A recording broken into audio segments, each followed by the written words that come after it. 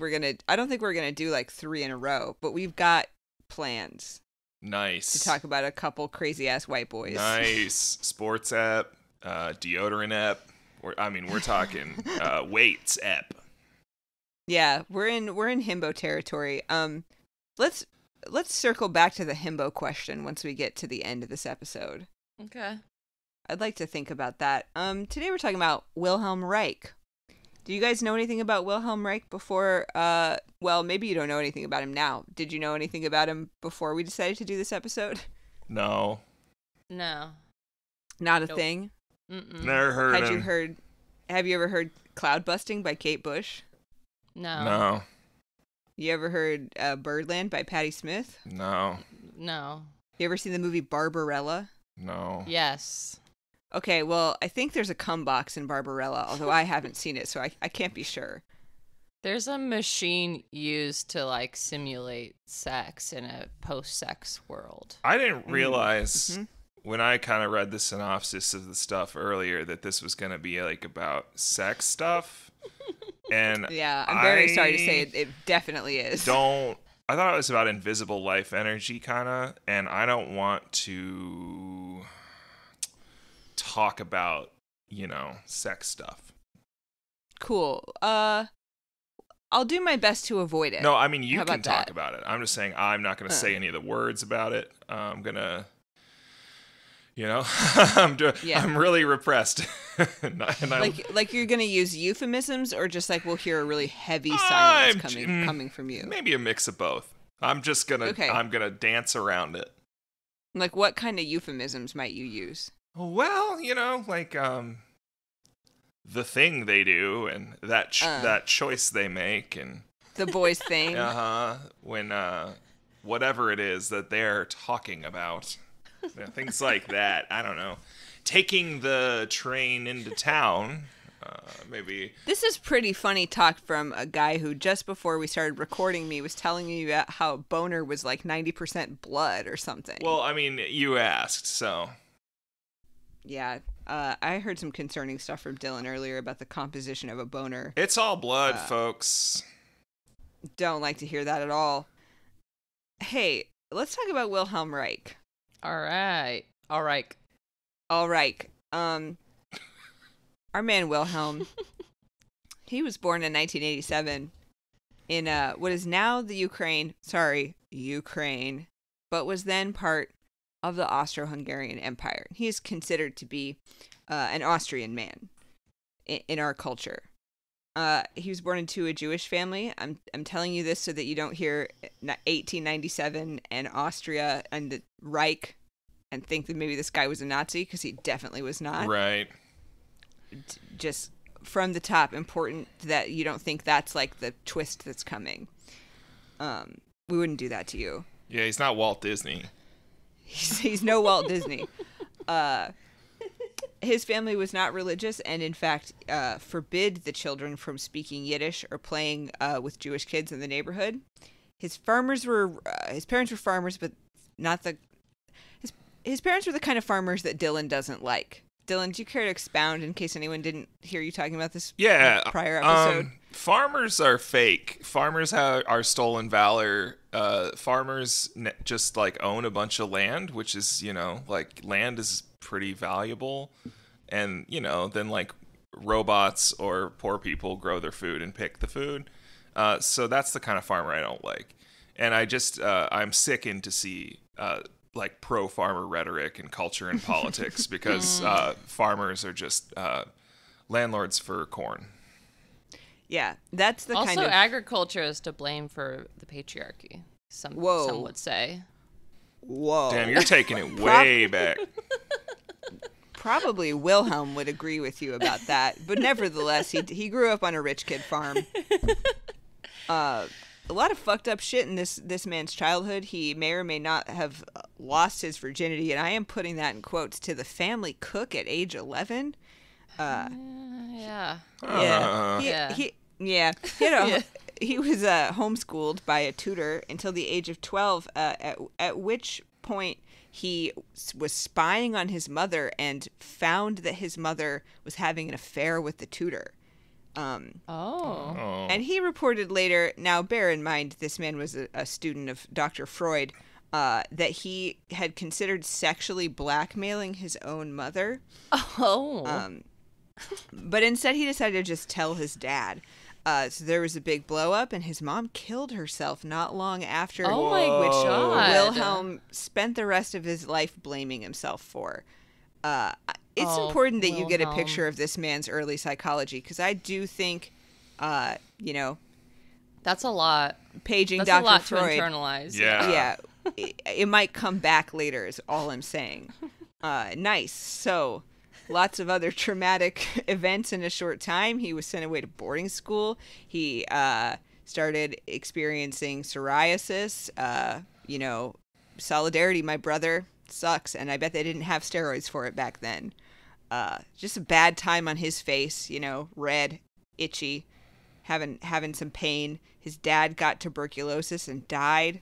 Uh, oh no. turns out his life insurance was worthless because of inflation. Thanks inflation, Ugh. Uh, Wilhelm and his brother weren't left any money. They did have the farm, but then the Russians invaded, and he and his brother had to flee uh, with nothing. Just a just a hard time all around. He was a good student, uh, a studious little boy, but he had to defer his studies to join the Austro-Hungarian army during World War One. Dylan, do you know anything about that? Like war stuff? You know, you seem like you know about the Austro-Hungarian Empire. I don't really know anything about war stuff, but I think they lost. If I, yeah, that's something I if I learned about remember. while I was while I was reading yesterday. Yeah. yeah, I think they lost in the, the as a result their country stopped being a thing. Right. So he was in Vienna uh, just after the war, or I think he got discharged before the war ended. He decided to study law. He was like, law's boring. I'm going to do medicine. He was doing medicine. A few weeks later, the Austro Hungarian Empire was overthrown and the city was plunged into famine. He and his brother had to live in an unheated room. Uh, he fell in love with another medical student, a beautiful lady, uh, while they were dissecting a corpse together. Ugh. That sounds like you. Was it you? Yeah, was it you? It was me. I was like, we have so much in common. We're here with this dead body. We both have psoriasis. Uh, no, actually, she was not interested. Maybe the presence of a fetid dead body was like, uh, you know, got in the way of her It did the potential opposite attraction. for her that it did for him. right. oh, creepy. I mean, you know, listen, we don't know that that's that was part of it, when you say fell but we in don't know that it wasn't. I always figure like to, you know if you can't fall in love just with somebody who's like uh, you're my lab partner, right? Can you? I guess.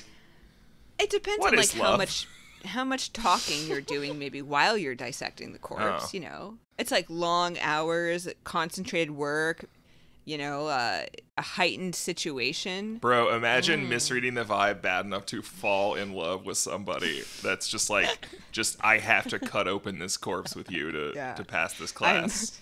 Trying so hard to like dissect this artery. Bro, that's an L. That's an L.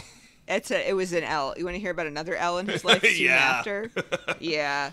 Okay. Um so things are actually going well for a while. He kind of becomes like a prodigy in the the burgeoning field of of uh, early psychoanalysis. He meets Freud because he's interested in the, in the new field of sexology. He like calls Freud up. I mean, you know, probably writes him a letter or something. Maybe just goes to his office. He's like, "Hey, can you like send me some sexology books?" And he and Freud like get to talking. Eventually, Freud starts letting him see patients. Bear in mind, he is 22 years old No. uh, and has not been analyzed yet, which now is like if you're going to do psychoanalysis, you have to go through psychoanalysis first, and I think Really? continually. hmm Yeah, you have to be a patient before you can like uh, analyze others. That seems like a good rule of thumb. Like I think so too. there too. should be more counselors also going through counseling instead of just telling people what to do. Dude, I cannot tell you the number of people I know who seem actively mentally ill who are in the counseling profession. yeah. Yep. uh, yeah. Don't go to therapy, folks. Doesn't work. It's Yeah, a don't scam. go. Hey, Don't. guys listening, that weird Guys and dudes. that intense shame you feel when you uh, see pictures of you know your your family all together that like intense like loathing and, Mm. and disgust that you feel that's normal just Hold on to that. yeah just hold on to that you're fine if it Use it to motivate your hustle. yeah uh, if you get you know like irrationally angry on sunny days for some that's fine Mm. you know Normal sun Um, rage. if you gotta knock a hole in a wall you gotta knock a hole in a wall you know Practice Yeah. I statements. yeah. I just- feel just better I when I smash a hole in my wall because because I don't like when you talk back to me. it And I'd like you to. Stop And- talking back to me. it is a healthy outlet for my feelings. yeah. Uh, don't punch an outlet. Don't punch an outlet, dude. There's these exposed wires that are hanging out of this thing in the, the wall right next to where my head is at night. Next to where you punched. well, no, it's not where I punched. Is punched. your punching hole? No, it's like um, you know, like the, one of those power outlet covers, but it doesn't have holes in it that are sometimes around on walls. Yeah. It's one of those, Mm-hmm. but I bumped a bed frame into it and cracked it Uh. clean in half, and it fell off. Uh-oh. And now there's just these. They're pink and black and red wires, just kind of. Hey, buddy, you Why can you go to a stick your hand hardware store and get a plate cover, an outlet cover for like 60 cents. And then how much is it going to cost me to have a contractor come and install it? it, th- it has two little screws. Mm, that's Sim- yeah, do simple, you have a screwdriver? no. Phillips or flathead? What are those? Do you want me to send you a You should have screwdriver? both. No, You should have Phillips what? and flathead, and, and ideally a, a couple different sizes. I prefer. I'm not really like a DIY guy, you know. I prefer Mm. to hire professionals to fix my wall Mm-hmm. wires, but sometimes my hair tickles the wires, and Oh. and I'm I'm Oh, no. nervous that one day I'll get shocked in the night. yeah, I mean, yes, for sure. I mean, they're like, what do you call Put it? Put a poster over They it. They got plastic Put, on them. put like a cool like Budweiser sexy girl poster over. do it. it. I should Izzy do and. Jordan did when they lived in a punk house, and Jordan moshed a hole in the wall. Just put a poster over it. That's good. That works. Uh, Yeah. yeah. Okay, so listen, Wilhelm, um, he he was starting his process of being an analyst at 22 years old, and I, I don't know how to tell you this, but he immediately started fucking one of his patients. No. Oh. Freud now Freud had specifically cautioned everybody not to do this. He was like, "Do not, you know, you're going to experience transference. You're going to have like an intense emotional relationship with your patients. Do not ever sleep with them. Don't do oh it. Oh my god. Willie, He was like, what are you "Uh-huh." doing? Uh, I'm gonna." that seems so wrong. Yeah, and then and then guess what? She They died. baby. No. She, she died soon after of sepsis. Did she kill herself? No, but listen, she died of sepsis, which may have been exacerbated by sleeping in an unheated room she had rented in order to meet Wilhelm oh, because her family disapproved of the relationship. Oh, Now- Jesus. Christ. The Okay, link killed her. between—I don't think he killed her. I think it was just like like living in the fucking dark ages back then. Damn, dude, you he know? killed Sucked. his mom and then he killed her. Yeah. yeah. That's yeah, crazy. okay. Just because, like, I mean, from his point of view, he probably did kill both. he of them. killed his mom and her because of sex. Yeah. Yeah. exactly. So uh, the link between these two things to me is tenuous. Like sepsis, you don't get sepsis from sleeping in a cold room, but maybe if you already have sepsis, like if you have an infection in your body and then your body's energy is going towards like keeping you warm instead of fighting the infection, it, that could kill you. It could certainly be an exacerbating factor. Um, but you know, did they even know that back then? Who the hell knows? Is sepsis like. No, just going off the name. That's when poop Yeah. gets in your blood. That's what my question was. Is that poop blood? Well, it's poop blood, but it's also like it's like any bacteria. yeah. It's like if you get a cut that you don't wash. Oh. think, like- like it all gets all over your body. Yeah, Oh. yeah. The infection spreads to your blood. It's terrible. I wonder if that's the little dots on my leg. I don't know. Probably. I, I think you Yeah, would know if you is. were it's, Still, if and you, you don't were have sepsis. in septic shock. It's a pretty like dire experience. The dots are kind of brown. Wait, save this for the skin episode. Yeah, Yeah, good we'll point. talk about I'm this in the sorry. I'm just I'm all over the place today. I had my cookie. It's hot talk. I It's had okay. a I It's had okay. a It's Yeah. hot you know, it's hot in here. I had my cookie. Yeah. I had my hot coffee and everything just kind of swirling around just up here. just to be clear, the only thing you've eaten today is a cookie. two cookies. Two cookie. What kind of cookies? They're all the generic versions of uh, the Girl Scout cookie Samoa. Uh, the Okay. coconut so uh, just chocolate just sugar. Sugar. and coffee. Okay. All right. Um, I could take a fiber have- gummy if you want. but you couldn't have picked something with like nuts in it, I didn't have anything with Like- nuts in it. like a cookie with oats and nuts. I, know? okay, here are my A uh, Belvita? Here's what I have that where I don't have to stop the podcast to get up and walk away within reach. Yeah. I have Uh-oh. uh, Lacroix, coffee, Okay. fiber Yeah, gummies, wet, wet maxing. uh, and I have a uh, a vanilla strawberry cupcake, mini cupcake, uh, and I have a bag of peanut butter pretzel bites. The peanut butter pretzel bites are probably your best bet, honestly, but don't eat them on the pod. Oh, so now you don't want me to eat. Sarah Sarah says Sarah thinks it's good for the content when I'm hungry and about to pass out. I'm begging you to eat food before 1 p.m. Oh my god, I never do. I eat one big meal. That's at- really hard. That's a tall order. I eat one my meal God. or like to like eat one. before 1 p.m. I never do that. Seriously. What time did you all get up today? Eight thirty. Uh, eight. Okay, so you've been. How can you go that? I mean, I would understand if you woke up at 11. Yeah, I had And then- coffee and I had a muffin, but that's not really. Food. What kind of muffin is he? blueberry? Blueberry. Blueberry. Blueberry. Uh, yeah, that's that's pretty much devoid of nutritional content. Would it have like oats or It's just anything in kinda it? Sugar. I It's could- Just like sugar. I mean, I guess I have. shop. There's beer. I could have a beer. Yeah. Yeah. That's good. That's what- That's yeah, a good idea. Well, it depends. Is it like a heavy stout? Is it like an oatmeal stout? I know I keep bringing up oats, but I really can't think of what else you two idiots might eat that would help you. Um, okay, stop. First of all. Yeah. Yeah, I'm, I'm very with the- sorry. I love I love you both. That's not okay. Yeah. I wish I could feed both of oh, you. Oh, and by the way, you're welcome for me adapting my meal schedule to work with your yeah. content. Yeah. Okay. Uh, Okay, When- so Willie, he's killed yeah. two women. Okay, He's he's killed, killed two, two women, women. because sex, not with Of- yeah. necessarily, but because. but because Because because yeah, sex. A to B, simple A to B. um, so after his intended died, he started analyzing her best friend, and then guess what?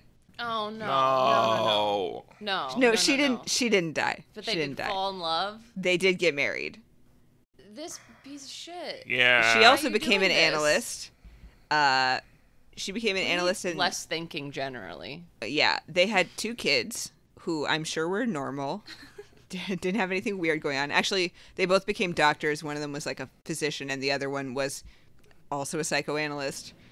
Probably like just a fun, normal family to be around. Oh yeah, sounds fun. God. Um, so around this time, Freud had started a free clinic that was treating all kinds of people, um, giving them free analysis. World War One soldiers with shell shock, farmers, laborers, Okay, students, that's like good. kind of Wait, whoever what kind needed of it. farmers? What kind of Uh, farmers? Yeah, I what kind the, of po- the poor kind. It's it was like they were talking about like farm laborers, you know, farm hands, Okay. people who would not have normally been able to afford uh, analysis.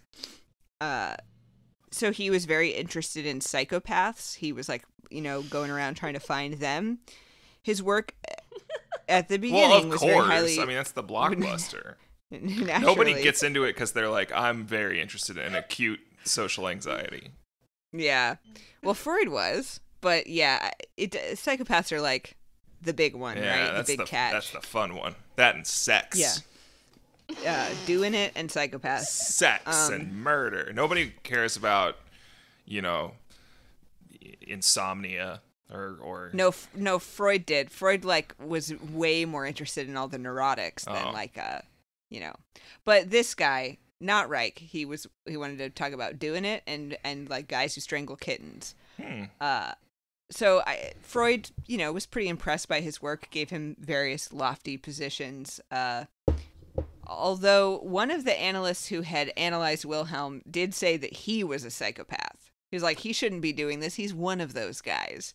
This is um, why they should they should have done an analysis on him before Yeah. he married two or was fucking two of his patients. He did eventually go into psychoanalysis, uh, but And probably they said not you're a psychopath. not soon enough. Yeah, no, his analyst was the one who said that. Oh God. Yeah. Uh, Reich himself later said that he behaved, quote, like a shark in a pond of carps during this period. So, I mean, that sounds like a psychopath. Sounds like psychopath behavior. That's not something you get over though, right? You kind of just are that way. Being a psychopath, yeah, but I'm not sure when they talked about psychopaths, they meant it in the same way we did. I mean, they. There was discussion of like what we would now call antisocial personalities or antisocial personality disorder. Like psychopath is not a real uh, psychological diagnosis anymore. It's like a layman's term. Uh, anyway, we could do a whole episode on that, but we're not going to.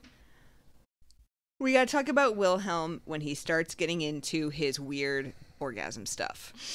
Uh, we have to. Uh, we uh, must. mm-mm. yeah, because that's how we get to the Let's boxes. fucking go. Oh, Let's fucking go. He did some normal. He was doing normal psychoanalysis stuff for a while. Uh, and then he started developing his own theory, which he called orgastic potency. Sounds normal, right? What do you think that might Mhm. be? Orgastic potency. Um, sperm count. Yeah, it does sound like that. Oh. Is the part you don't want to comment on? Ew, Dylan? ew, ew, ew, ew. Continue. Yeah, let's go. Let's move. Let's move. Let's move. So, Dylan, you're not going to like what I have to say next. Uh, orgastic potency was the idea that all neuroses, all like unhealthy inhibitions, uh, all psychic pro- problems, anything that might be like wrong with your psychology w- could be cured via orgasm. Uh, Um, okay. Well, um, too bad. Born this way, proud of it. Uh, you know, uh, not interested in that treatment. That's for sure. yeah. So, and guess it's not just like coming versus not coming. Uh, you could do it wrong. There were lots of ways you could do it You could wrong. do it Like wrong? you could have, yeah, you could have what he called a cold erection.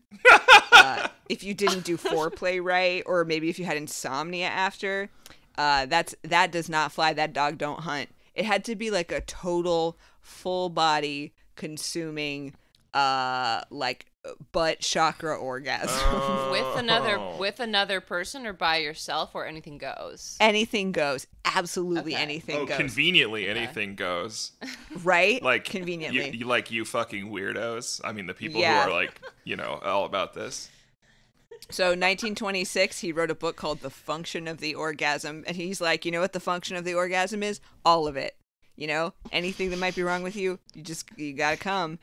Um, he was convinced that good quality sexual climaxes promoted uh overall total physical health. Um, he gave Freud a copy of his manuscript, and Freud looked at it and went, "That thick." uh, this would be the beginning of them having a falling out. Uh, Freud t- said that Reich was, quote, an impetuous young man passionately devoted to his hobby horse who now salutes in the genital orgasm the antidote to every neurosis. Uh, That later, sounds when like a psychopath. yeah, when Freud got cancer, Reich was like, "Oh yeah, it was because he was sexually frustrated. He was not coming enough." oh my god.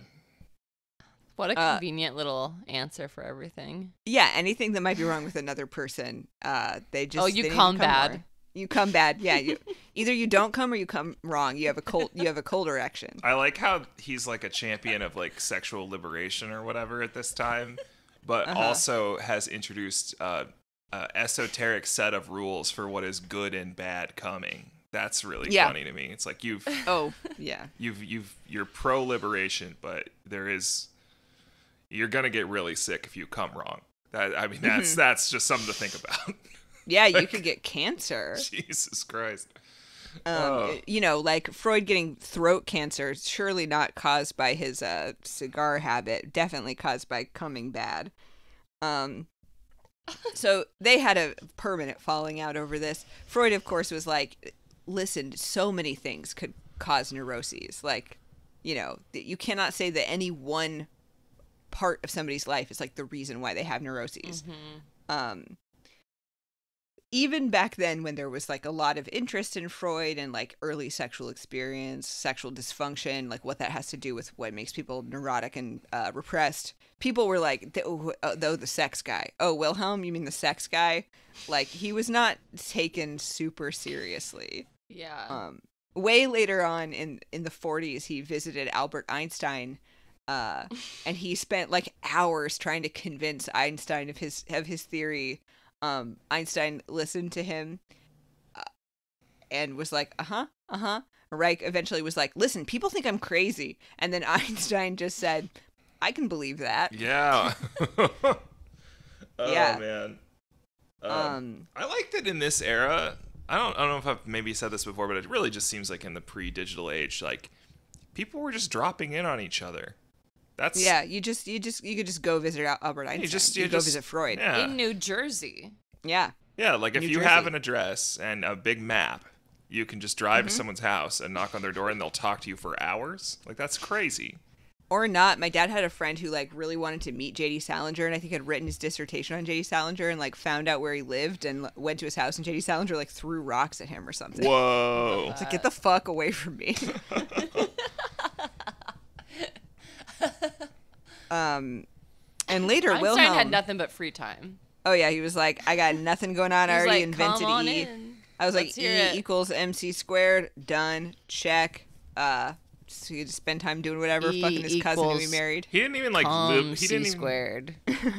It's weird that he like didn't even move to like Burbank or whatever. Is Burbank cool? What's like uh you know where the Kardashians live? Where are the Kardashians? Calabasas. Calab- I don't that's think what I'm Calabasas thinking is of. cool. Isn't it like a suburb? Yeah, that's what I'm saying though. It's like weird that Einstein would choose to continue living in New Jersey instead of moving to Calabasas. Didn't he like work at Princeton? Probably. Well, uh, yeah, but Surely that's why he was in New Jersey. Well, yeah, but he's probably. Like, Uh, he wanted to be by the shore. Princeton's in He New loved the Jersey? culture. Yeah, isn't that funny? that's crazy. Go Devils. Um, yeah, maybe he went into Gym Tan Laundry. maybe he wanted to to Gym Tan Laundry. Maybe he, maybe he knew Snooki's mom. Who knows? Yeah, Maybe. Snooki's, Snooki's mom is as old as She's Einstein. so old. She- I don't know how old people are.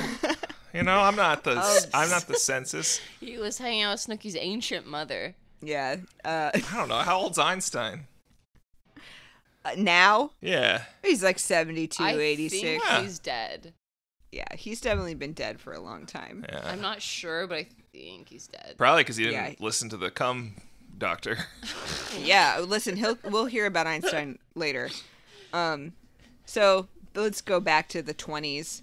Our Wilhelm, he's still in uh he's still in Austria. He moves to Germany. He gets really interested in Marxism. First, he joins the Austrian Communist Party. Then he joins the German Communist Party. He opened six free sex therapy clinics under the aegis of a, an organization that he calls the German Society of Proletariat Sexual Politics, or conveniently, Sex Pol. Sex oh. Pol. Where does he get the money? Like what the? He has like benefactors. People are like, we love what this. We're picking up what this man's putting down. That's so Why crazy. don't we have benefactors? That's we what do makes their me mad. our patrons. I know, but we're not having like this kind We of don't have setting sex up pole a money. center sort of money. Can you imagine if we could set up a center? Oh my with god! Free education. I would love that. yeah, and we could do therapy on people, I would love to do not therapy that on part. people. and we could start publishing. We could start publishing pamphlets promoting adolescent sexuality, like he did at Sex Pol. Oh. Yeah, Oh. that's when Freud was like, "No, I'm like never gonna fuck with you again." And Yeah. and and after that, they did not talk. Yeah. And a lot of other people were like, "Hey, you probably shouldn't be telling like 13 year olds to fuck. Like, there, you know, there's maybe just stay in your lane, brother, and like talk about the cum box for grown ups." Um, he definitely did a lot of things that now certain libs would be like, great, I definitely think my kids should know all about like sexual pleasure. uh, we're not talking like educating people so that they don't like, you know, whatever. There's a way to do that. We went to Harmony School. We got sex ed in the first and second grade. It was not about like sexual pleasure. It was about like, how does this work? Uh, that's not what he was doing. Uh, Yeah, I held a tampon and a pad in first grade. I was told about menstruation, about, about how babies yeah, it was made. like, uh, was factual okay, cool. information. This is that was not his vibe, uh, not at all. So, uh, he's in Germany. He's Jewish. It's getting a little closer to Nazi time, and he has got to go. Uh, they obviously don't like any of the psychoanalysts. They don't like anyone who is like a Jewish intellectual. Obviously, they don't really like anyone who's like an intellectual who's not uh, gonna become a, a party member and is like a dissident in any way. Obviously, people in the Communist Party, uh, big targets, all that stuff. So he fucks off to Sweden. Um, he gets interested there in a new therapeutic process called vegetotherapy. What do you think that's about? Vegetables. That would be so much better than what it is. Rhubarb, rutabaga, and and rutabaga. Rhubarb therapy. Bok choy therapy. Cucumber, cucumber eye mask. Cucumber eye mask, please, What if he was please, just giving Sarah. people No more of the bad. Cucumber eye mask. Would that would be great.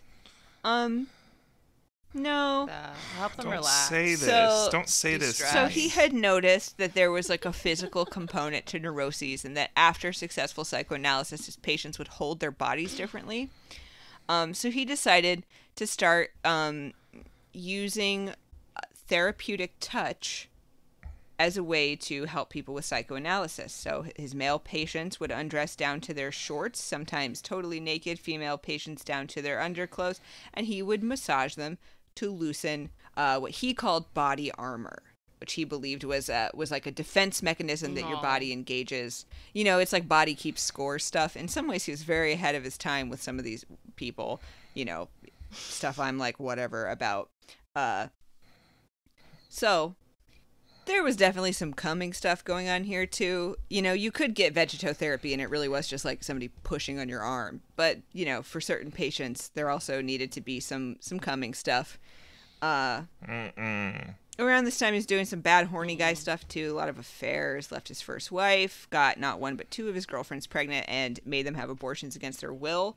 Uh lots of affairs with patients. He could not keep it in his pants. Uh Bro. bro. Yeah, crossing not a good. line. many lots uh tons tons uh i was a horny guy you know Okay, but if guy is horny and he studies horny, shouldn't he know more about horny? yes Shouldn't he know yes these things? Is Say- say like that. dumbass? yeah guy who studies horny learn to use horny responsibly Right? Like, Um, You're the expert. I can't even encourage. it was like the wild west of horny over there. In Sweden. It's yeah yeah in sweden. He did a bunch of other shit in sweden that i'm skipping over because we don't have time. Uh in 1939 he went to new york because the heat was getting too hot in sweden from the nazis. He's like i gotta get out of this awful continent. Uh amen to that brother. Am i right? Uh and once we get to new york here we are at the main event. Of course i'm talking about cum boxes what'd y'all learn about cum boxes Um, well, I was enticed into the cum box lifestyle because Sarah showed me a picture of Kurt Cobain in an orgone box that William S. Burroughs had made, like using the design specifics of Reich. Yes, you can. Anyone can obtain a pamphlet for for making an orgone accumulator. Anybody, uh, including William S. Burroughs, who had a lot of them, or maybe just one, but he was real into it, and he definitely was coming in there. Dylan, I will say, yeah, I'll say that like um, anything that William S. Burroughs thinks is a good idea is probably a good idea. Oh no! That Uh-oh. guy guy seemed like a normal guy who did. I've never shit, read any and I, Burroughs. I. I haven't either because I'm like that seems like it's for boys. dude. I tried. I, I think I made it like a page and a half. Okay, maybe more. I think I'm. I ah, equate Burroughs and Thompson. Are they like the same kind of guy? yeah, I mean Thompson's later, but they're Alright. definitely the same kind of guy. Like, the uh, vibe. yeah, memoir stuff, semi autobiographical. Uh, you you remember Charles? Yeah. Yeah. Shout out Shout to out Charles. Uh, we all know a a cool, you know, genius guy who loves William Burroughs. He's like a what do you? How would you describe him? Uh, he's like a gentleman anarchist of a certain age. yeah, he's a distinguished gentleman. He has a pipe. He has like a he has lots of fine fabrics in his A lot clothing. of tweeds. Um, a lot of tweeds, and he's a he's a William Burroughs expert. So I've heard all these Yeah. Stories about William Burroughs from Charles, and I'm like, this guy sounds like a, a huge piece. Yeah, of he shit. did shoot shoot And his Char- wife in the head. Oh, Uh, that they were playing William yeah. Tell. yeah, It was, was an an, accident. accident. Sarah. It was an accident. That's Still. true. I would say it was like Yeah. big redneck behavior, like getting really drunk and trying to shoot a, an apple off your wife's head. Um, Right? then you- Yeah, like you get some road sodas, you hop in the Grand Yeah. Cherokee, pop on down to the holler, and just uh, sh- just fire yeah, some play off. yourself you a know? game of William Tell with the old wife. Um, okay, I shouldn't interrupt the podcast to say this, but like I had the coffee's really hitting Yeah. me now.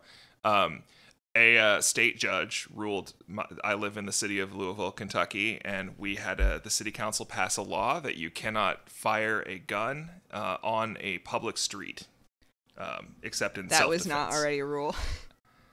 Uh, apparently not. The state supreme court struck it oh, down. great.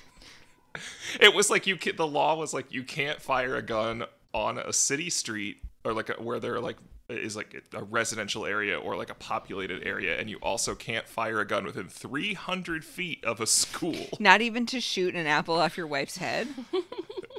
Come no, on. but that was country coming that was to? uh I'm not taking a political position on this, honestly. I could see both sides. like, I think it, I think that there's there's an argument to be made on both sides here, but I just thought, I don't know, I just thought that was insanely Yeah. wild. I was like, wait, wait, wait. So you're saying it's like it's just straight up legal? Like I can just, it is actually legal to just, you know, drive around and fire a gun into the air in a city with a million. You should do in it. Yeah, just celebrate your freedom. I'm going to. Yeah. Um, speaking of freedom, Wilhelm Reich, he's in America, baby. He's in New York City, Yes. uh, and he's thinking about this thing called orgone.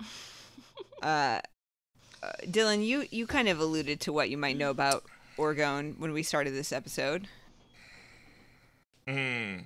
Oh yeah, it's uh, invisible life Right. energy that is somehow connected with coming, but it's not necessarily. It's not cum. I don't quite understand the connection. It's invisible and it accumulates in an accumulator box. And it's good. And bad Yeah, and bad. There's bad orgone. that's too. later, but yeah. Um, Yeah. orgone is it's like energy. It's uh, it's and it's libidinal. So okay. you know there's like a sexual element to it but it's like um it's omnipresent it can be detected in the soil in the air Is there bl- more orgone at a rock show? at like a rock and roll concert Yeah. Is there 'Cause like there's- more uh, concentration of like orgone because there's that libidinal sort of Right. primal energy? yeah i would say so and like if you could build a giant orgone accumulator uh, around at like Coachella. at coachella you would you would have so much fucking orgone you would not know what to do with it Yeah. I'm sorry. you could you could blast those fascists into the sky um so orgone was blue gray in color sometimes like kind of blue green it was manifest What? visibly in things such as the northern lights the color of the sky chlorophyll in plants cancer cells uh, and of course Cancer the blue cells. color of sexually excited frogs Oh. Is that common yes. knowledge? when The- the frogs are color horny of- and they turn blue The fruit. Well, before TV, you'd just go watch the. frogs. Yeah, I don't. I really don't Uh, understand what that refers to. I don't know if he means like normal American frogs. If he's talking about like some kind of exotic frog. I that thought he turns was talking about blue. like aura, like when you get your aura portrait Well, if and it's blue, you're really horny. Yeah, maybe. if the if you've already read the newspaper and there wasn't a ship arriving at port that day, uh, really the only thing there was left to do was to just go look and see if there were any blue sex Yeah. frogs outside. Um. So Wilhelm was like, I can harness this energy. Um, and he started building these things called orgone accumulators. They, do you know what a Faraday cage is? It's such a fucking hard as hell sounding thing. I had to look up what it was. No. Faraday ca- Mhm. Faraday cage is like a uh, radiation proof box or uh, like Oh. electricity proof box. There's like Mm. if you like an elevator is a Faraday cage because you know how your phone doesn't work in it. Oh. And an Oh, airplane is a cool. Faraday cage because if a plane gets struck by lightning, like you'd be fine. Do you think that people of want one. Snowflake, Arizona would enjoy living in a Faraday cage? Yes, like the whole idea of putting tinfoil in your windows is like to replicate a Faraday cage, like to keep signals. I'm sure out. that they all have like a Faraday closet, right? For Like, sure. if not I- the whole yeah. place. Uh, they used to do, you know, when So they would do like those electricity experiments where they would have like a beam of electricity in the air, and that's like another thing you could do for fun if there weren't any ships coming to port. They would like put people in a Faraday cage, uh, and like shoot electricity at them and be like, "See, he's fine." uh, microwaves are Faraday cages because they like uh, the radiation just like radiation's the guy, inside but uh, it doesn't go Yeah. outside. Yeah. It does go outside. it's outside. like the though. guy who uh, Yeah, but it does. Sorry, Dylan. What guy? What guy?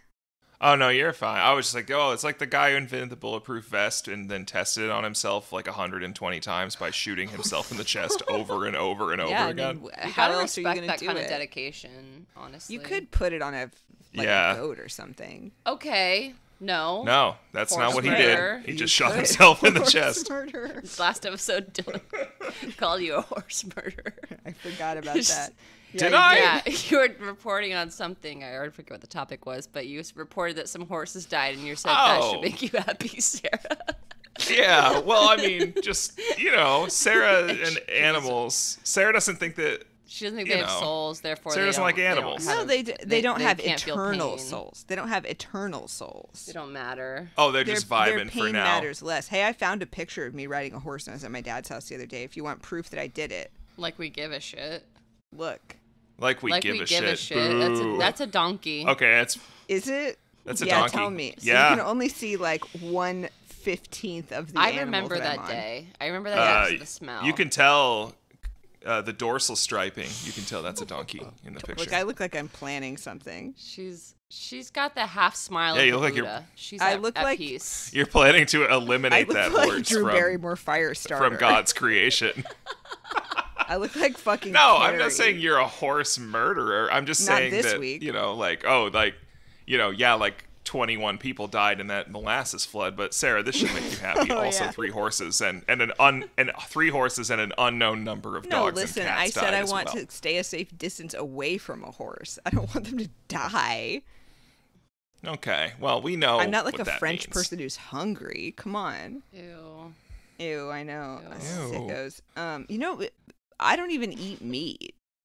You know, like I I'm saw nice. you eat meat. Well, okay. Okay. Yeah, I saw you this too. woman's a liar. I saw her eat meat the other day. I did eat chicken the other day. I had an ex who was a vegetarian, and then about two months into our relationship, we went to a Subway sandwich shop, and she ordered like double ham on her sandwich, and I was like, "What are you doing?" And she's like, "Oh, I like I'm a vegetarian, but like I do eat ham," Yeah, man. which I thought was like, and then we never talked about it. I again. mean, you I know, just- you don't need to be totally dogmatic. know? If you want to eat ham like every three months, it's, that's fine. I mean, you I agree. Everything in I would- I- moderation. I'd personally like rather be shot than eat a pig, but you know, Get back on track. please think about the orgone accumulator. Does someone want to describe what it looks like? It's like a closet with a with a porthole. It's a beautiful cherry wood box with a porthole window. Uh, and then a, um, a little bench in there, a little chair in there, and uh, the walls are metal. Yeah, it looks like an outhouse that's a spaceship on the inside. You there's like a bench to sit. And you are supposed to sit in there naked. You're supposed to sit in there naked. You are Oh. absolutely supposed to sit in there naked. I'm gonna just gonna. I really Wait, didn't there's want to talk about porthole this. so people can look in on you being naked. Yeah, it's definitely so people can look in and not so you can look out. I, yeah, I think it's so you're not just in a hot metal Yeah, yeah. box, like you know, Um, in the and dark. what do you do in there? You just sit. You You don't. don't crank it. my question, my only Yeah. question for this whole Yeah. thing, and I don't, I didn't want to ask it. Um, again, I'm a genuinely like incredibly repressed Right. person, um, and uh, yeah. But uh, that, do you, are you supposed to come in there, or is it? Do you just do you just I sit mean, in there? you can you can do it. Hey, anything goes, brother. I mean, I think there's a lot of quiet sitting, but I there are definitely people who came in there. Willie S. Burroughs for sure. Uh, there, yeah, there had to have been some some coming in there. And how do they collect the orgone and how do they keep it in there? So the orgone is drawn to inorganic metallic substances. They think it has something to do with like magnetic stuff or electrical Okay. currents. Of course or you whatever, figured but this part but out. Since, but since nobody un- understands what it is or can explain what it is or if it exists or if it can be measured or whatever, um, but basically the theory is that um, the orgone. So so the the box is made of alternating layers of organic material and metal, basically. Mm, So, so it's like, and it- trapped, and it has to be Between yeah, and it has to be a conductive metal. Like you can't make one out of aluminum. It has to be like iron or steel or gold Mm-hmm. or, or something silver or something that's going to conduct electricity. My gold cum like- box. But the idea is that like, and it has to be in a positive space. Mm-hmm.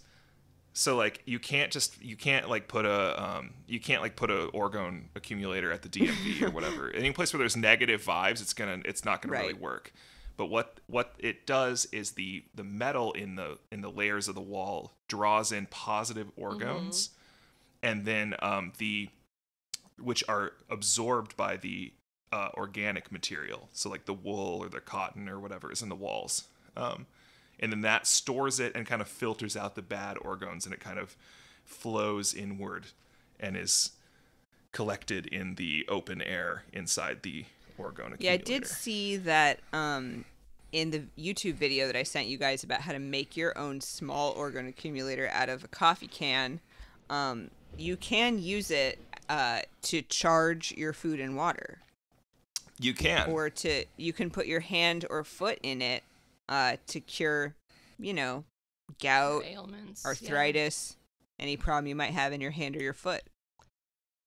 Is Um, this just I- meditation?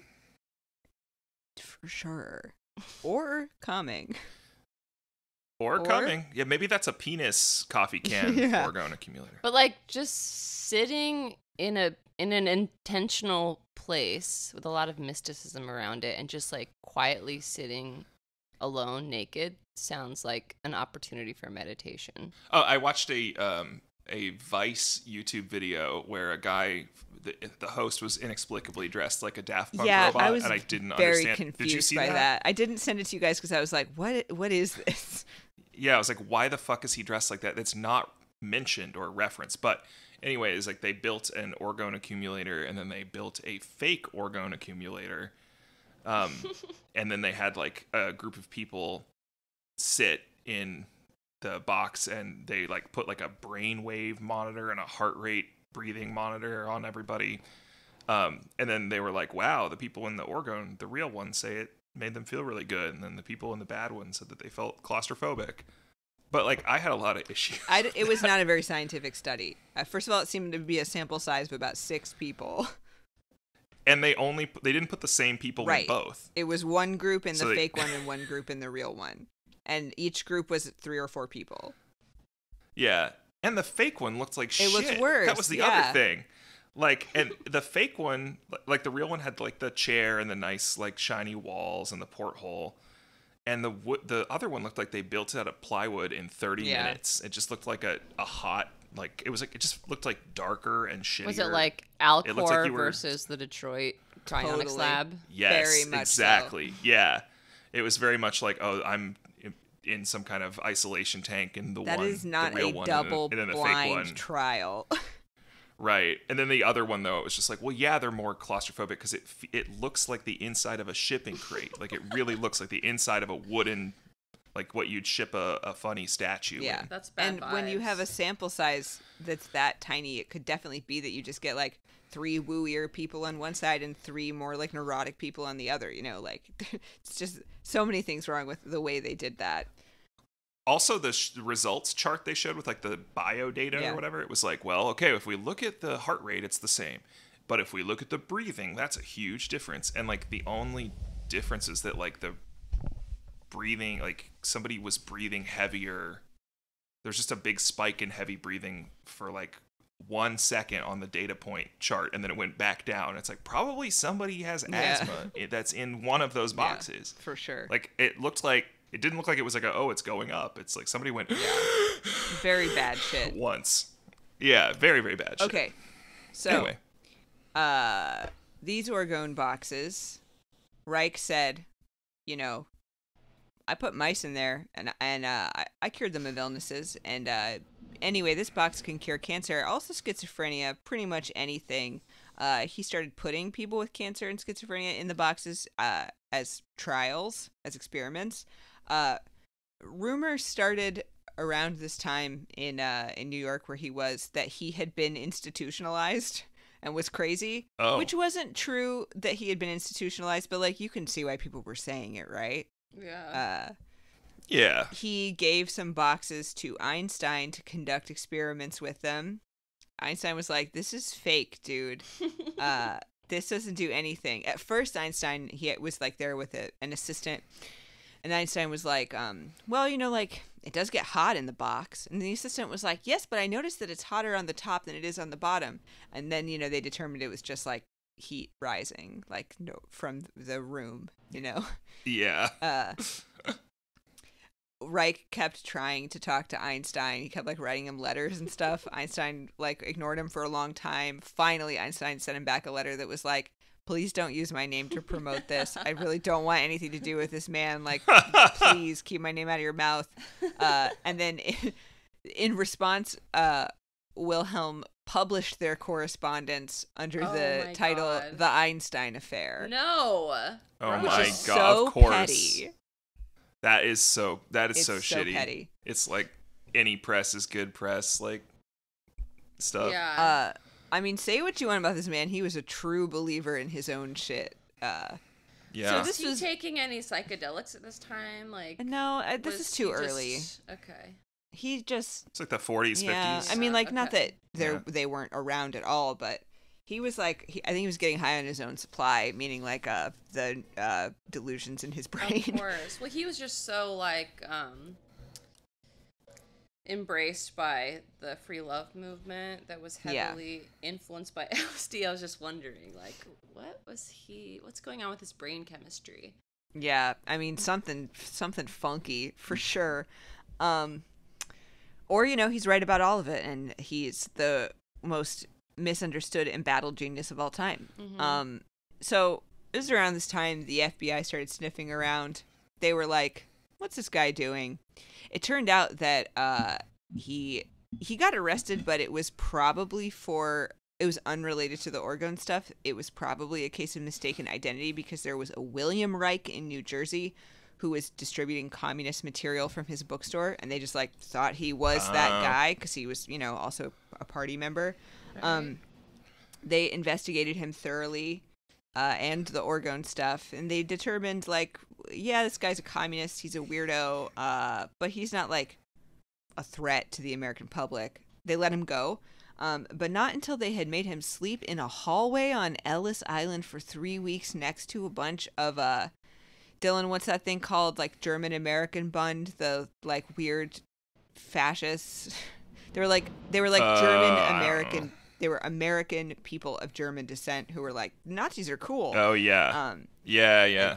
I, I don't forget what they're called, but I think it has Bund in the name, but I don't know like what that Yeah. means. Um, Oh, anyway, I think he had to like mentioned it on an episode. on one of her probably when, when we talked about uh Disney and uh, Werner von von von Braun. That's his name, right? The NASA NASA Nazi. the German American Bund. So those yeah. guys were also in custody, like in the same hallway. And Reich was like, "Should I like be by these guys?" And they're like, "Yeah, yeah, it's no problem." Uh, he was like, "But I think they're gonna kill me." Uh, oh no. he got out before anything bad happened, but it was a it was a dicey situation. Anyway, after that, he was like, "I'm gonna leave New York." Uh, he bought a farm in Maine, which he dubbed. How is this fucking guy just moving Somebody around? I just, gave like- him. Well, actually, I'm not sure how he bought the farm in Maine. I mean, he was selling orgone boxes, so he. I get paid. I pay my utilities and I get some groceries and then and then I buy like a hat maybe every couple Yeah. weeks and and or something like that and then I'm done and then there's no more money. How's this guy just like I'm gonna move to Yeah, he had like a family too. set up a clinic. uh, That's crazy. Also, uh, the German American Bund was set up as a successor to another pro-Nazi German American group called the uh, Friends of New Germany, uh, known as Fong. Friends of Just- Fong. That's misleading. Fong. Uh, don't like that at all. Just one. Fong. Fong. Uh, Sex Pol. Um, yeah. so probably somebody bought him that house because somebody had bought him a house in New Jersey, like you know, one of his supporters. At this point, most people are like, "This guy's a quack," right? Like most people don't know who he is at all, but people in the the medical world, the psychoanalytic world, uh, were like, "Oh yeah, the sex box guy." Okay, no, but there were people for sure who were like, big time. Uh, yeah, we're we're we're we're all in with the orgone boxes. There was one uh, physician who was interviewed, I think by the FDA a little later. They'll they're gonna show up. Uh, who was like, yeah, you know, I think it's probably a bunch of bullshit, but my wife does sit in her orgone box for four hours a day, and I like that. So, like, uh, at least one member of that household was a, a true believer. Um, Probably should want some fucking peace and Some quiet fucking here. peace and Yeah, quiet. seriously. One second. yeah, wives, am I right? These goddamn kids. Yeah, get those kids in running the cum around. box. Whoa! Don't These- say that. Well, we, they didn't call They it did not that. call it that. And, and yeah, um, that YouTube video. There's a YouTube tutorial that we'll link, I assume, in our descriptions or something. Um, it's essential. Uh, where yeah, you can. It's a they make an orgone accumulator out of a coffee can. Um, oh my great, gosh, great just YouTube comments. great, you incredible, dude. Yeah, Like, there's a world of people out there who are deep into uh, orgone accumulators still. And I just I loved like it wasn't like wow so interesting or whatever like how does it work it was like people being like actually uh, you shouldn't use glue because glue contains inorganic compounds uh, and you're actually ruining and then people were like oh there's actually gaps uh, between the, the lid isn't perfectly sealed so the orgone is going to leak Sound out like and then people were like Bunch of cum police. yeah, you should check out like Bill Watson's method. Uh, it's for doing this. Uh, he actually refines this and uh, introduces quartz. Like it's just, it's just like, damn, this is a whole, it's a whole Oh subculture. yeah, big time. It's like the time I found the vacuum cleaner subreddit, which, by the way, that is a good subreddit. What? What's their thing? They uh, rate and review vacuum. Hell yeah! I wonder what they say about It, mine. it rules. What do you got? Uh, it's a it's a shark. It's like really lightweight and it it has you can detach it in a couple different ways. You can detach just the bottom so it's like a long tube, you know, for getting the corners, or you can detach just the top so it's like a dust buster. It's a good vacuum. Uh, I bet that's. I bet they. I bet they like Yeah. that. They don't like, as a rule, they don't like. Um, they like bagless canister vacuums. Oh, it is bagless. like they want. They they insist that the bags work better. okay, for what? I don't know, but you ever like think about buying a thing and you're like, oh, I'll just like research what people on the internet say is the best thing, and you end up on some like incredibly niche like Yeah. subreddit, and people are like, you cannot buy. People this. get in- This is incredibly esoteric with it. Yeah, they were pretty like groovy. Like they had like a like recommended things list that started at like forty dollars. Okay. Like the office chairs subreddit was like, you cannot spend less than eight hundred dollars or your back will. Yeah. yeah. okay. Sorry, I did no, it no, no. again. It's this is part of the rich tapestry of this podcast. Yes. So, Lord. Lord. so even though people who kind of seemed to know what they were talking about were like, "This guy is full shit," there was like a little bit of positive, like lay press stuff about him, and in just like normal ass magazines, you know. Uh, but in the late 40s, a lady journalist, you know that she's got a bone to pick. Mildred Brady, she said, uh uh uh uh. She published two different articles, one in Harper's, one in the New Republic, absolutely going in on this man. Her real issue was with psychotherapy generally, and she did sort sort of like falsely conflate. She was like, you know, some of these psychotherapists have like this cum box. The psychotherapists were like, no, no, no, no, no, like we distanced ourselves from the cum box guy. Please don't don't associate us with a with a teen sex guy. Uh, Oh God. But anyway, uh, it brought him to the attention of the FDA. They found out that he had built at least 250 accumulators. They were like, this guy is doing a medical scam. The FDA back then must have been a, a little bit more powerful than they are now. Uh, Probably. They didn't do anything right away, but they had their eye on him. Meanwhile, he was doing, he decided to start a research program on children. Uh oh. No, no, no, no, no, no, no. No. Some of- Some of the old vegetotherapy stuff. Uh, if you want to not hear like, uh, maybe skip the next 20 seconds if you don't want to hear about like kind of fucked up shit. I will say he didn't I do don't want to hear anything. about fucked up shit. I'm gonna really gloss over it. It was there was massage. It was the No. vegetotherapy. Uh, No. He was not accused of anything himself, but some of the other therapists were.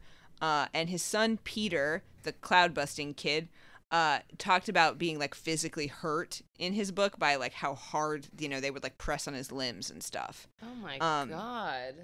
For what it's worth, one of Reich's daughters was like, "Yeah, I think my dad like probably got molested when he was a kid because he like really could not. This was the thing he was most interested in. It was like adolescent sexuality. Uh, so many things out there in the world you could talk about.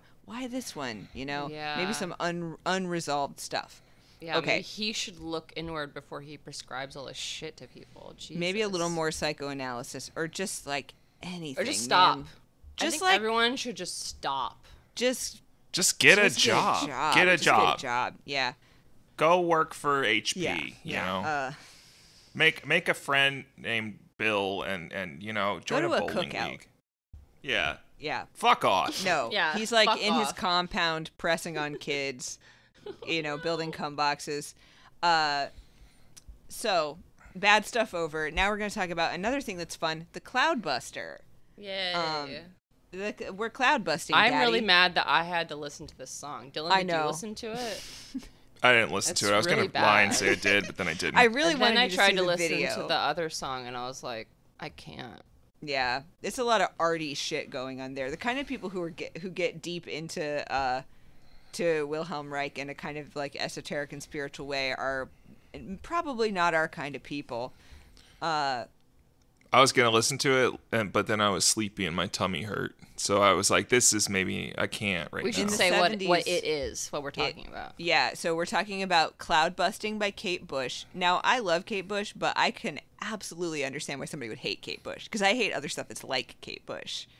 Uh like I, you know, I'd rather like get fucking cholera than listen to like Joanna Newsom. And I think to a lot of people that's like the same thing, right? Mm. Um Uh, sh- she's the um, she's the lady from Stranger Things, right? Kate Bush. Yeah, yeah, yeah. Yeah. Uh, Yeah. Yeah, my coworker used to play her song on the office computer a lot. yeah, the the one from that they wrote for Stranger Things.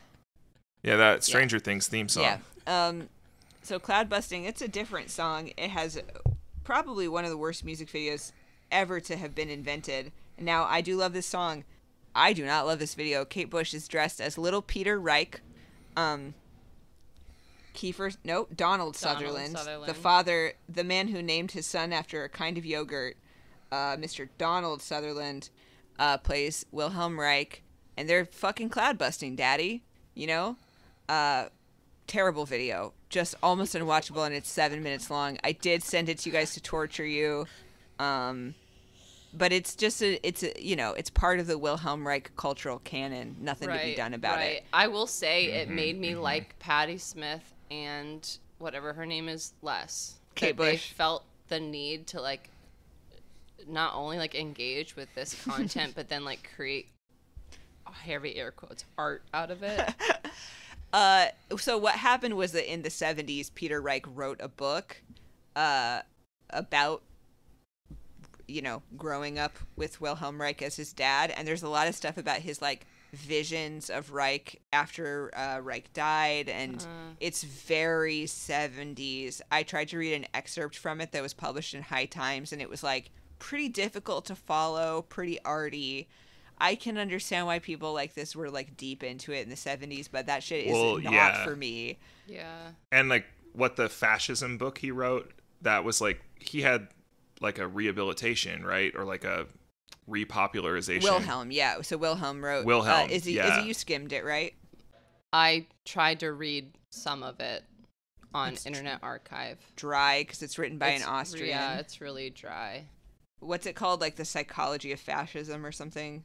The mass psychology of fascism. I skipped to the part that's called Sex Economy in the Fight Against Mysticism. That's what I was starting to read. Yeah, it has a big moment later. We'll we'll talk about it. Um. So, um, the Cloud Buster. We got to talk about that first. Wilhelm eh, later, after you know inventing orgone, sorry, recognizing it, uh, recognized also that there was a bad kind of orgone called deadly orgone radiation, which could uh, negatively affect the environment, the weather. Um, so he built a Cloud Buster, which confusingly named because one of the main things that he purported it could do was make rain happen. You know, I hear Right. cloud Mhm. buster.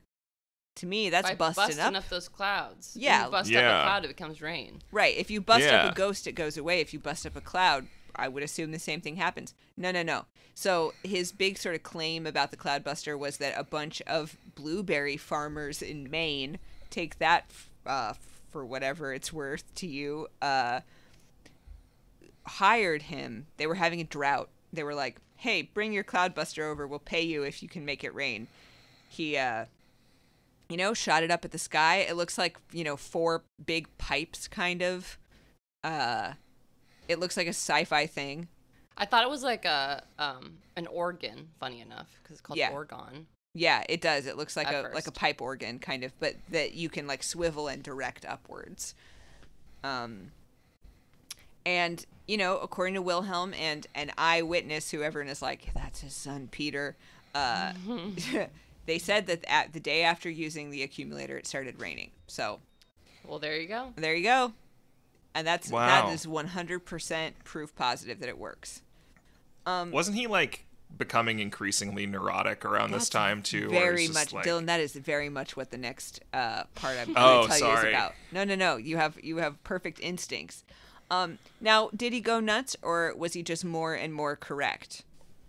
Was he more in tune with Yes. the truth? Yes, exactly. Uh, was it a realize, realize, realize? yes, yes, situation. exactly. Um, this man, uh, he he believes he's got some friends in high places. He believes, you know, and who are we to say he's wrong? That President Eisenhower um, is having the Air Force fly over Orgonon to keep him safe from his enemies, people such as the Food and Drug Administration of the United States. Don't ask me why the president would be in a secret battle with the Food and Drug Administration. Stranger things have happened, man. The government's a complicated place. Hey, place. Stranger Things. Maybe Stranger Things, Kate Bush. It's all coming back to me now. Maybe uh, if we had listened to Wilhelm Reich about the evils of the FDA, Mm-hmm. we would still have uh, mint JUUL pods today. Yeah. Maybe even mango. Yeah, all kinds of You know? freedoms that have been taken from us. That's right. Uh, sugar bear hair, you know, uh, all that stuff we need to keep us safe. Kinder egg. Ki- yeah, Kinder Egg, for real, Kinder Egg. Like they really think American children are so dumb that they would bite into a chocolate egg and swallow a piece of candy, which they I would. absolutely would, do. Absolutely would Yes. do. Yeah, American children cannot be trusted with Kinder eggs. It's true. No, Um, no, it's they- a good that, that it's was a good illegal. call. I think it should. I think they should make more things like that illegal. like what kinds of things? uh, those like bo- baby bottle pops. Yeah. that should be illegal for sure. Remember the goopy paint candy? It was like a paintbrush. Oh wow, that was. And Yep, yeah. hate that. Yeah. Yeah. Hate that. Disgusting. Gets on your clothes, clothes ruining. Hate uh, any any of those like any any candy that's sold with an applicator. I feel like if I was a little kid, I would. Thank God my parents didn't let me have things like that. yeah, I, w- I Um, was also not allowed to have things like that. I would have just tried to take a big bite into the plastic. Yeah. Uh, cont- housing. Right. you know? Okay, so listen, the district attorney of Maine files a successful injunction against Wilhelm to stop him from shipping orgone accumulators out of state. Uh, they say you must destroy all of these orgone accumulators and all the parts, and uh, you cannot distribute your books that mention orgone. Uh, he's like, okay, whatever. Uh, he gets obsessed with the idea around this time that uh, the planet is secretly under attack by aliens uh, who are flying over Orgonon and leaving deadly orgone radiation behind. Uh, he and little Peter stay out all night looking for them and aiming the cloudbuster at them for Poor a while. Peter. Oh Poor my little Peter. Uh, yeah. Yeah. Weird, weird guy. Uh, I hope Peter like I don't know became a, a Methodist Yeah. Pastor and somewhere. yeah. I, I, I hope he like I hope he like you know joined a board game group and and, and, and like worked at a bank. Yeah, You I don't think so. Like for him. I don't, I don't, Um, yeah, probably not. Um, so for a while he went to Arizona with his with four no two cloudbusters, and engaged in what he later called a full scale interplanetary battle against the aliens. Um, while he was doing this, engaging protecting our planet, thank you Wilhelm. Thank you, Wilhelm. Uh, one of his associates shipped parts to build an accumulator through the mail to a customer who was actually an undercover FDA inspector. Uh oh. Of course, this violated the Uh-oh. injunction. Wilhelm and his associate were charged with contempt of court. Wilhelm decided to represent himself, which, as you know, always goes well and is always a good idea. Um, Yep. He was sentenced to two years in prison.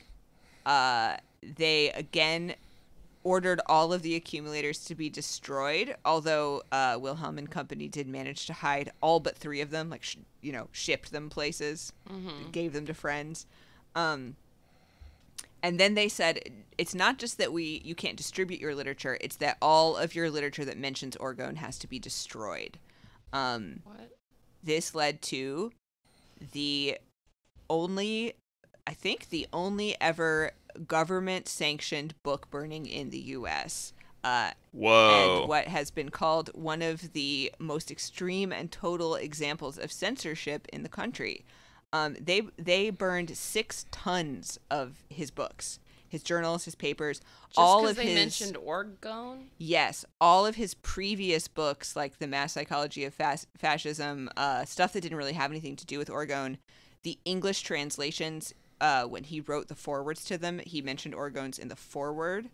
So all of that, uh, the forward, so all of that stuff had to get burned, had, you know, uh, was Yeah. legally uh, part of the injunction.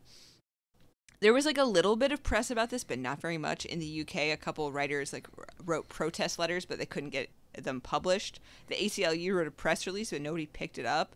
People were like, "This guy's a quack. Like we don't care," which is not the point. It's a matter of Yeah. principle. Yeah, Um, totally. They so the FDA was like, "We can't do it for you, we, but uh, we're gonna watch you do it." They can, they're not allowed to like physically assist, so they like uh, they made all of the Orgone people, like all the Orgone staff and stuff, uh, uh, just take all of these boxes to a public incinerator in New York. My Six God. tons. This is the best possible thing they could have done for this guy's like like Right? if they hadn't done this like we would have never heard of this man No, totally. It's the Like- only. It's like, wow, what did he know? right exactly like he seems like a complete dumbass who built a box that has like some metal and some wool in it yeah. and then came a lot yeah but like um but you know now it's like yeah what did he now I, even i'm like wait what did he I know. is it Because real the FDA, the FDA putting a, like someone in jail for that degree of like medical scamming would never happen now. Yeah. no hell we don't no put there's like so the many of those Braggs people in prison for lying about the mother, you know, and also saying that they're doctors and they're not. Yeah. oh man we don't put like don't young Dr. living Gina. oil in in, Yeah. in Yeah. jail. I get like ads for like weird pills. yeah. yeah Uh, Is that not? um, is that not? I get like revolutionary fat burning system ads that are just like like I mean that they've been it's the same fucking thing that's been on TV forever. Yeah.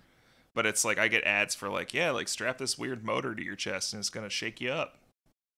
The t- the tactical. Army Yeah, the- fat the- burner? Yeah. the army ab thing. Yeah, yeah, like yeah. in our Discord, join now hotboardz.chat. We have a, a channel for ads, and I love seeing the different ways the same photo is like advertised to different people with like different naming systems and different websites attached yeah to it. totally uh it's it's very interesting stuff um I keep Like- getting ads about heart and liver failure. oh no Oh yeah, I do too. I'm scared. It's like you know, it's like we live in a for-profit medical industry, so every ad is like a scare tactic about your liver or something. I was I, wa- I am a little bit like what does the algorithm know? Yeah. Like what have they identified from my like various searches over the years? wilhelm reich tries to appeal his prison sentence by writing to j edgar hoover wow talk about being hopeful j. Edgar hoover obviously does not give even one single fuck. Uh prison psychiatrist said he was delusional. Uh, quote here's a quote from the psychiatrist in the prison. The patient feels he has been he has made outstanding discoveries. Gradually over a period of many years he has explained the failure of his ideas in becoming universally accepted by the elaboration of psychotic thinking. Quote the rockefellers are against me. Uh, the airplanes flying over prison are sent by the air force to encourage me i mean Wow. you know To encourage him. yeah, remember because the Air Force is on his side because Dwight D. Eisenhower is uh, looking out for him.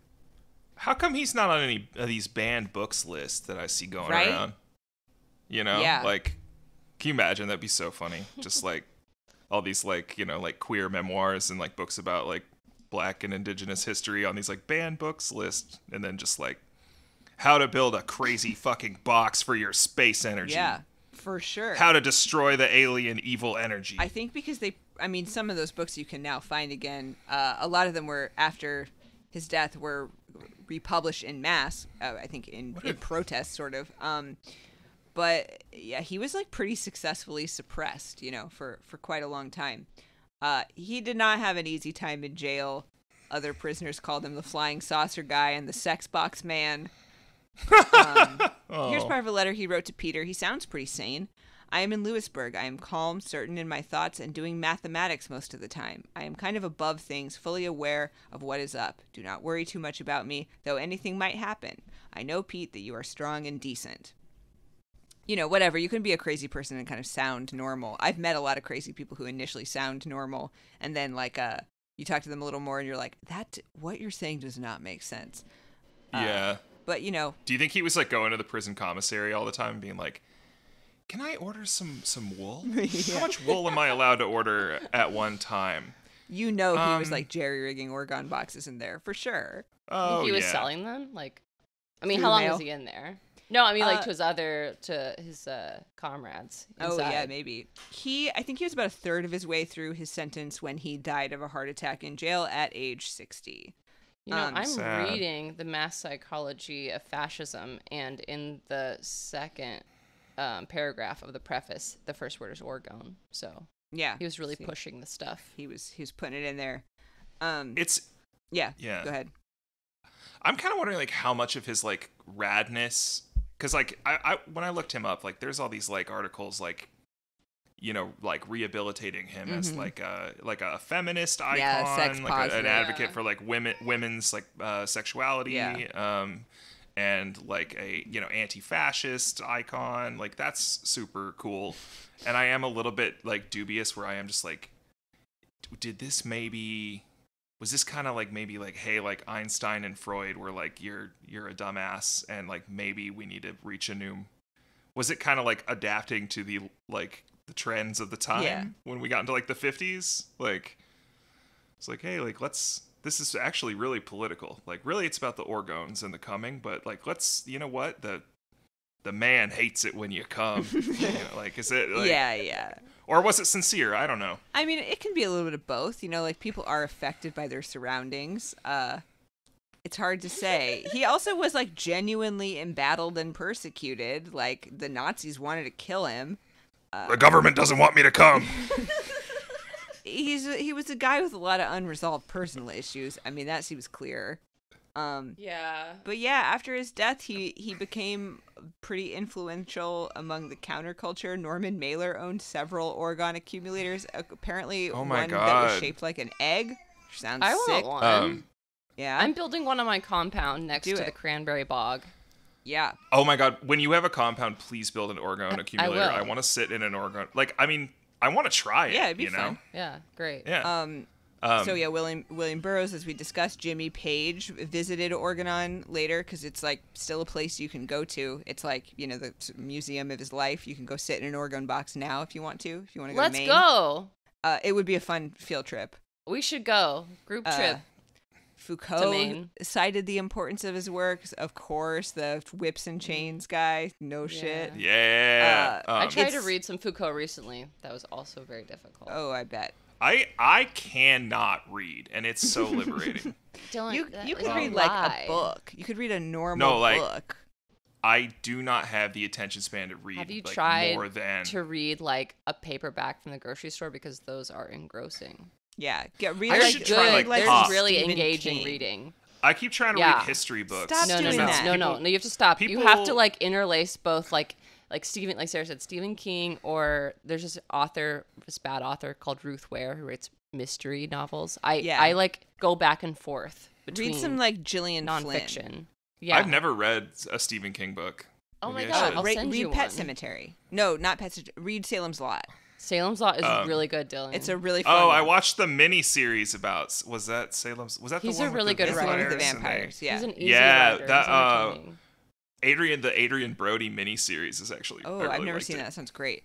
Uh, it is yeah, really go fun. The, It is like a thousand pages, so it might be like tough to start, but it's very engrossing. Yeah. Go to the thrift store Um, and pick up, uh, yeah, a mass market paperback and try to read that. when I was a when I was a little kid and I was like behaving poorly, my parents would threaten me by by saying that if I don't like shape up my behavior, that uh, Norman Mailer would be coming over and that he would be my babysitter. And I was like a little kid, and I was just like, "Who is that? What?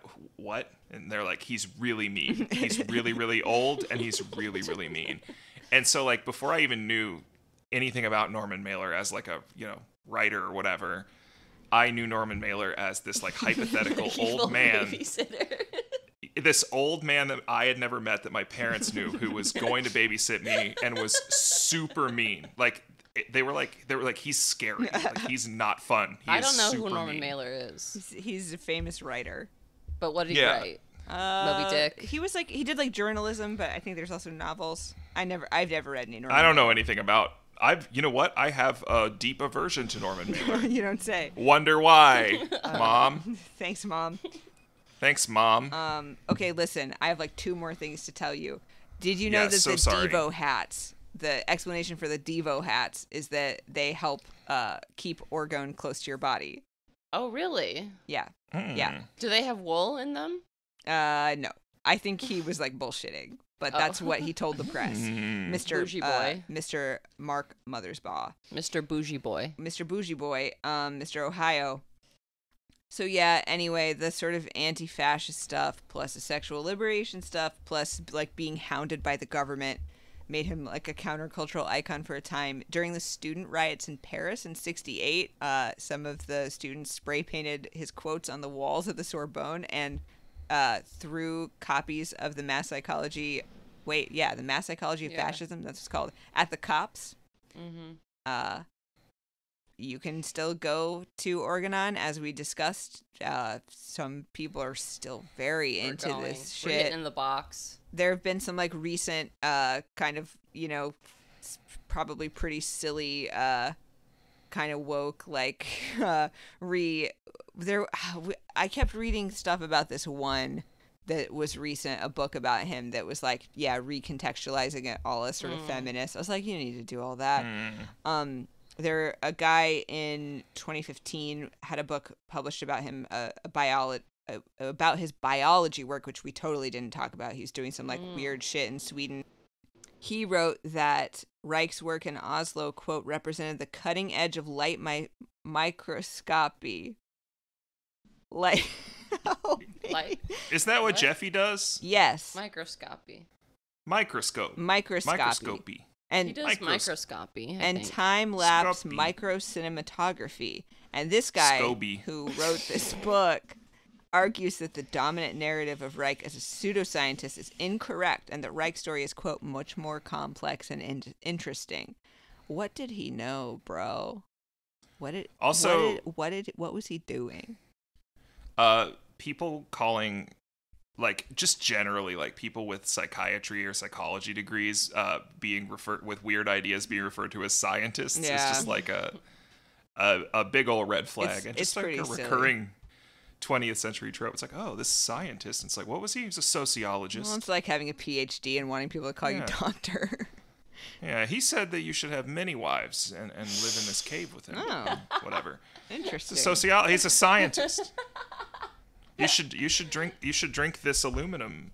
You can't use aluminum, by the way. If you're making um if you're making an orgone generator at home accumulator, do not use aluminum. It's it needs to be a conductive Thank you, Dylan. uh, metal. Thank you. And you can't. You it's a, I read a guide. Do you know about the crystals? Have you heard about these crystals? no, tell tell us quickly, but we got to finish this. yeah, soon. yeah. So sorry. I got I got turned on to these orgone crystals Oh, natu- from naturally. um, from uh, the to that. uh yeah man i got hip to these hip to these crystals um from the youtube comments um of that orgone generator video also by the way if you are making an orgone generator uh and it's you're gonna fill like in the video they use like double zero steel wool as the metal part Yeah. um don't put your food and shit in there um if you've ever used tiny grit steel wool before uh you may know that uh, it uh, basically dissolves into tiny metal particles on Oh, contact no. so uh, make sure that's uh, sealed up real good if you're gonna put your food or your water in. I was just like, this is just a recipe for drinking and eating Mm-hmm. like barely visible powdered steel, Sounds bad. like which or can't be good very for you. healthy, like Or, colloidal or silver. yeah, it's either really Yeah. good for you or really bad. Yeah. Yeah, exactly. It's like the antidote to microplastics. but these okay, these crystals are a development of this orgone theory. They're Are they uh, you can find them online. So yes, In the accumulator? So they They are. Uh, uh, so what they are is basically like little bits of conductive metal. So that's the the metal part, Mm-hmm. and then they're resin made with an organic resin. So that is the uh, the combination of the organic and the inorganic, right? Naturally. but but they've improved on the design because they have a little quartz ball in the middle. Um and uh the way basically quartz has a electrical uh, there's something called the piezoelectric effect um or piezoelectrical effect which is like when you it's like how watch like quartz works in like watches and stove lighters and stuff. Like if you like squeeze a piece of quartz um there's like a tiny electrical current that runs through it. So if you're a believer in this, the idea is that the resin, when it cures, like permanently is putting pressure on that quartz. Ah. I don't know if that's actually, I don't think that's how it works at all, actually. I think probably it's just the air bubbles are getting out of it, right? But anyway, Dude, but yeah, the idea is it's like, it, it's always squeezing that quartz and like exerting just like a tiny a little electrical current, which is, you know, being, which is uh, attracting orgones and, and, uh, and then the, uh, the organic and inorganic shit in there is is uh is uh you know filtering it out and filtering out the negative organs. I don't. There was a whole thing about how they filter out the negative organs. Okay. Which is like f- funny because it's like there's it's not clear what the distinction is Yeah. or like how that might happen. It's like oh yeah, that's what the organic material is for. I'm like you just said the organic material is for storing the organs. Are you okay, telling now, you- me? now it's Are you telling me this stuff doesn't Um, make a whole lot of sense, Dylan? I am telling you that exactly, but uh, they're really cool, man. If you ever want like you know for your like stoner den, if you ever want like a cool desk paperweight with that looks like a you know a hippie spiritual sort of like they're real pretty. A lot of them have like gold foil and they're like dyed and they have like a big, really look like some real out there shit. we'll post an example Um, in the in the dossier. Yeah, For sure. Uh, I'll go ahead and yeah, here I'm dropping an, a link on. Uh, uh, you can find them on. They're pretty cheap. Um, or you can make your own if you're into resin. It could be a fun project yeah, are you. you into resin, bro? Yeah, are you just make sure you don't get, an uh, AliExpress link? Well, I thought, you know, I just wanted to f- find the cheapest one I could so we could make it available to the people. what does it say? But- oh my god. You want me? You want me to read the URL? Yeah, please read it. Oh wow, yeah, this looks very trippy, bro. It looks like a planet inside a Yeah. time cube. Uh, Uh, rocks. the other thing I saw was that like the, where they were like, oh, the positive, you know, like it creates a positive electrical current, which like releases positive organs, but then also it releases a negative electrical current, which like destroys the negative organs, which is it also doesn't do that. No, you don't say. Um, yeah, like you, uh, you can't have like uh, according to this uh, according to this electrical stuff website to get a negative charge from a quartz crystal, you need to run a current through it. Anyway, that's. Uh, you're talking to me about. Don't worry about a it. talking to me potato about science. that? Huh? I'm not talking about science. This is not science. You you said nonsense. electrical current. To me, that's science. Like the only, the most legitimate part of this whole thing that I've heard so far is that if you do, it's true that if you squeeze quartz, you get a very small electrical current. That's true. Yeah. but or not current current's the wrong word but like it generates a little bit of electricity right Yeah. um yeah that's true so if there is any this is the hardest science behind this that i could find uh, and uh, they're really beautiful you know You Yeah. look like absolute shit. They yeah they look like something we would have found at Dharma Emporium in 2001. come on man you won't feel that way once uh, i also found ones that are like little uh, pendant ones and ones that you stick on the back of your phone because um Yeah. of course Obviously the the the 5G right. Dylan, I'm gonna We buy have you to- one and see how you like it. He's he would Oh, love yeah, it. hell yeah. He would love it. So you can get a pop Yeah. socket. Is what you're saying?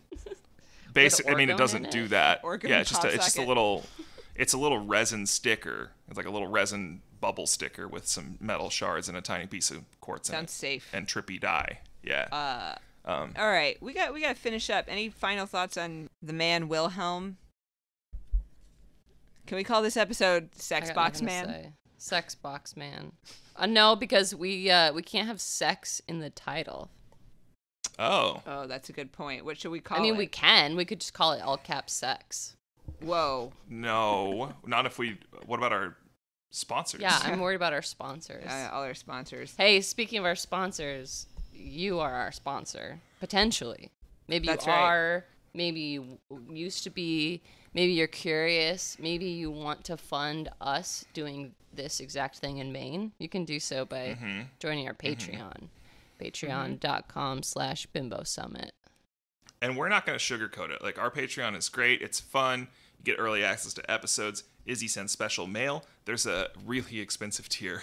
It's like what? Tw- it's like twelve bucks or something. Is it? Mm-hmm. Uh, Where you can just you can just request an episode title and we'll straight up do it. Yeah. Or, or not a title, but a topic. Yeah. We'll just straight up do an We'll- episode we'll just topic. do it. I mean, you could Um, just give us a title and like see see what see where we go with it.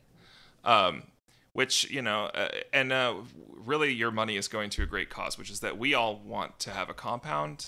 Um, I'm wearing lim- linen parachute pants right now, and I, uh, well, they're like capris, but they're like circusy. Do they have like know? a drop crotch?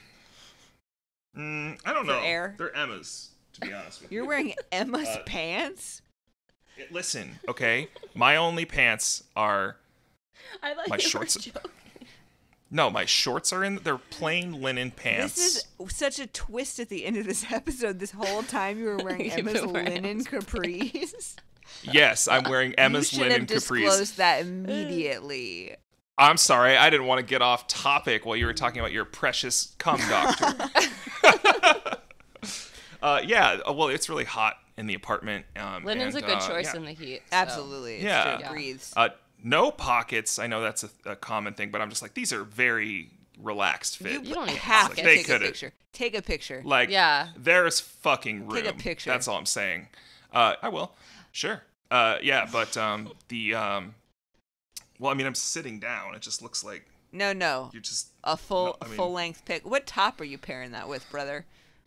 Uh, I'm wearing a, uh, a very dirty white shirt, Mm, like tee- with like a some, tee? like a white T-shirt with some band letters on it. Mm. Band letters. Um, like they're against the also- rules. Yeah, um, It says Oregon on the top. yeah. It's just, it's. I'm wearing it with my Oregon shirt.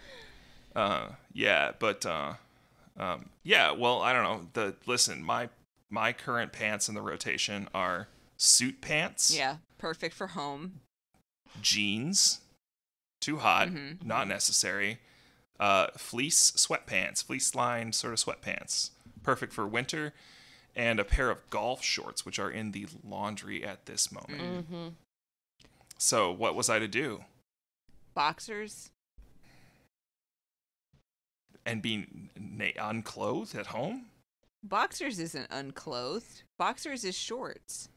It's like I cash. just this is exactly why I wasn't comfortable doing this topic because do you know how hard it is to be like a just a sex negative person Yeah, like in, definitely. in this pol- s- In cultural this climate culture, yeah. Yeah. like because it's like you can't win it's like there's the really sex positive people and like i've got no problem with that that's fun if that's like a thing that you like but like i, a am like ugh i'm like i I have no like I have no like you know political or moral or whatever judgment You for just that i'm just it's like yucky. ugh. It's just yucky. i just think it's yucky. Yucky. but then on the other side of it you have people who are like deliberately sex negative for like weird mystical right wing political purposes Mhm. like you, you've got the people who are like, I, you know, retain my semen so that I can be the master race. Oh like, yeah, that- that's oh you know what man, I mean. Like semen that's retention guys are like a good time to to look. You were talking Yeah. about subreddit to look in on.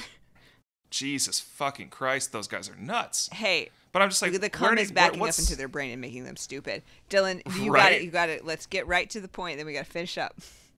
Yeah, is there a is there a home for somebody who just is kind of grossed out by human sexuality, but like doesn't, uh, you know, isn't aligning with some grand anti cum movement? Yeah, everything is so political now. Uh, call in 70645 bimbo if you want to support Dylan. Uh, if you think sex is yucky, drop us a line. Um, we'd love to hear from you. Go ahead and post right on our Discord about it. Um, Join our Discord. It's fun. please use euphemisms and asterisks if you're going to talk about anything blue. Um, Don't respect Dylan. say it. Respect Dylan. Mm. Uh, Respect I have to go. respect. I have to brush me. my teeth again. Hey, after and- this. And even though the gods are crazy, And even though the stars are blind. uh, fight the power. Make sure you, uh, when you make your orgone generator, make sure you uh, seal that shit. But don't use glue.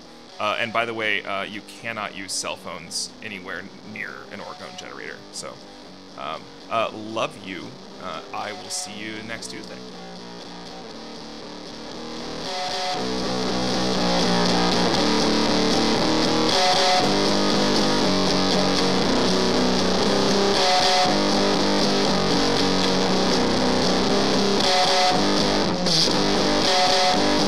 Thank